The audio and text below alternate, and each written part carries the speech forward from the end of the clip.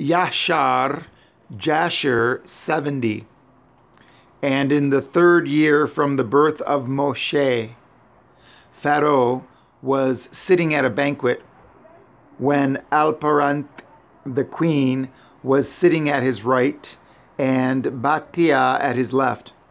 And the lad Moshe was lying upon her bosom.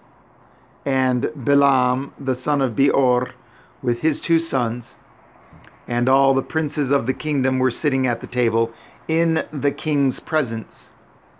And the lad stretched forth his hand upon the king's head, and took the crown from the king's head, and placed it on his own head. And when the king and princes saw the work which the boy had done, the king and princes were terrified, and one man to his neighbor expressed astonishment. And the king said unto the princes who were before him at the table, What speak you, and what say you, O ye princes, in this matter? And what is to be the judgment against the boy on account of this act? And Bilam, the son of Beor, the magician, answered before the king and princes, and he said, Remember now, O my lord and king, the dream which you did dream many days since, and that which your servant interpreted unto you. Now, therefore, this is a child from the Ivri children, in whom is the Ruach Elohim. And let not my lord the king imagine that this youngster did this thing without knowledge. For he is an Ivri boy, and wisdom and understanding are with him. Although he is yet a child, and with wisdom has he done this, and chosen unto himself the kingdom of Mitzrayim. For this is the manner of all the Ivrim, to deceive kings and their nobles, to do all these things cunningly, in order to make the kings of the earth and their men tremble. Surely you know that Abraham, their father, acted thus, who deceived the army of Nimrod, king of Babel, and Avimelech, king of Gerar, and that he possessed himself of the land of the children of Chet and all the kingdoms of Canaan, and that he descended into Mitzrayim and said of Sarah, his woman, She is my sister, in order to mislead Mitzrayim and her king. His son Yitzchak also did so when he went to Gerar and dwelt there, and his strength prevailed over the army of the rather of Avimelech, king of the Pelashtim. He also thought of making the kingdom of the Pelashtim stumble in saying that Rivka, his woman, was his sister. Yaakov also dealt treacherously with his brother and took from his hand his birthright and his blessing. He went then to Padan Aram, to the house of Lavan, his mother's brother, and cunningly obtained from him his daughter, his cattle, and all belonging to him, and fled away and returned to the land of Canaan to his father. His sons sold their brother Yosef who went down into Mitzrayim and became a slave, and was placed in the prison house for twelve years, until the former Pharaoh dreamed dreams and withdrew him from the prison house, and magnified him above all the princes of Mitzrayim on account of his interpreting his dreams to him. And when Elohim caused a famine throughout the land, he sent for and brought his brother and all his brothers, and the whole of his father's household, and supported them without price or reward, and bought the Mitzrim for slaves. Now, therefore, my lord king, behold, this child has risen up in their stead in Mitzrayim to do according to their deeds and to trifle with every king, prince, and judge. If it please the king, let us now spill his blood upon the ground, lest he grow up and take away the government from your hand, and the hope of Mitzrayim shall perish, rather, of Mitzrayim perish after he shall have reigned. And Balaam said to the king, Let us moreover call for all the judges of Mitzrayim and the wise men thereof, and let us know if the judgment of death is due to this boy as you did say, and then we will slay him. And Pharaoh sent and called for all the wise men of Mitzrayim, and they came before the king. And an angel of Yahweh came amongst them, and he was like one of the wise men of Mitzrayim.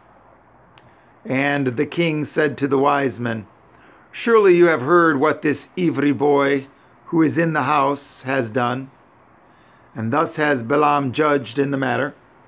Now judge you also, and see what is due to the boy for the act he has committed.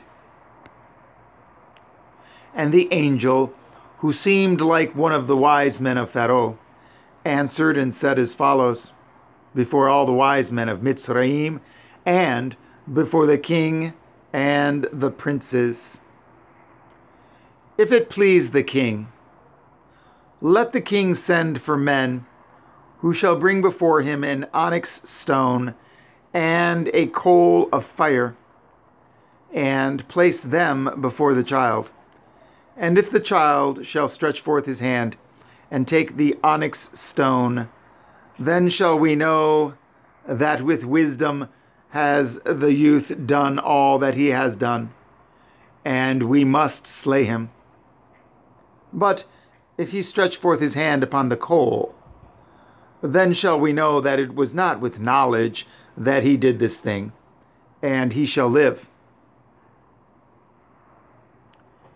And the thing seemed good in the eyes of the king and the princes. So the king did according to the word of the angel of Yahweh. And the king ordered the onyx stone and coal to be brought and placed before Moshe. And they placed the boy before them, and the lad endeavored to stretch forth his hand to the onyx stone. But the angel of Yahweh took his hand and placed it upon the coal. And the coal became extinguished in his hand. And he lifted it up and put it into his mouth and burned part of his lips and part of his tongue and he became heavy in mouth and tongue. And when the king and princes saw this, they knew that Moshe had not acted with wisdom in taking off the crown from the king's head. So the king and princes refrained from slaying the child. So Moshe remained in Pharaoh's house, growing up, and Yahuwah was with him. And while the boy was in the king's house, he was robed in purple, and he grew amongst the children of the king. And when Moshe grew up in the king's house, Batia, the daughter of Pharaoh, considered him as a son, and all the household of Pharaoh honored him. And all the men of Mitzrayim were afraid of him. And he daily went forth and came into the land of Goshen, where his brethren, the children of Yashara'el, were. And Moshe saw them daily in shortness of breath and hard labor. And Moshe asked them, saying, Wherefore is this labor meted out unto you day by day? And they told him all that had befallen them, and all the injunctions which Pharaoh had put upon them before his birth. And they told him all the counsels which Balaam, the son of Beor, had counseled against them, and what he had also counseled against him, in order to slay him when he had taken the king's crown from off his head. And when Moshe heard these things, his anger was kindled against Balaam, and he sought to kill him. And he was in ambush for him day by day. And Balaam was afraid of Moshe, and he and his two sons rose up and went forth from Mitzrayim. And they fled and delivered their souls and betook themselves to the land of Cush, to Kikianus, king of Cush. And Moshe was in the king's house, going out and coming in. Yahuwah gave him favor in the eyes of Pharaoh, and in the eyes of all his servants, and in the eyes of all the people of Mitzrayim. And they loved Moshe exceedingly. And the day arrived when Moshe went to Goshen to see his brethren, that he saw the children of Yashara'el in their burdens and hard labor. And Moshe was grieved on their account. And Moshe returned to Mitzrayim and came to the house of Pharaoh, and came before the king. And Moshe bowed down before the king. And Moshe said unto Pharaoh, I pray you, my lord, I have come to seek a small request from you. Turn not away my face empty.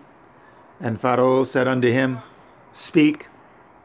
And Moshe said unto Pharaoh, Let there be given unto your servants the children of Yashara'el who are in Goshen, one day to rest therein from their labor. And the king answered Moshe and said, Behold, I have lifted up your face in this thing to grant your request.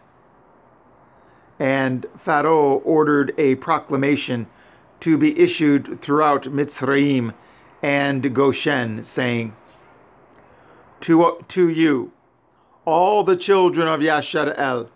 Thus says the king, For six days you shall do your work and labor, but on the seventh day you shall rest, and shall not perform any work. Thus shall you do all the days. As the king and Moshe the son of Batia have commanded. And the Moshe rejoiced at this thing which the king had granted to him. And all the children of Yashara'el did as Moshe ordered them.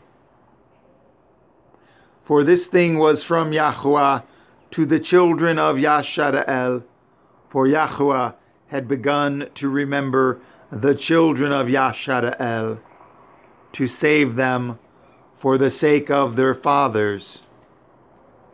And Yahuwah was with Moshe, and his fame went throughout Mitzrayim. And Moshe became great in the eyes of all the Mitzrim, and in the eyes of all the children of Yashara'el, seeking good for his people Yashara'el, and speaking words of peace regarding them to the king.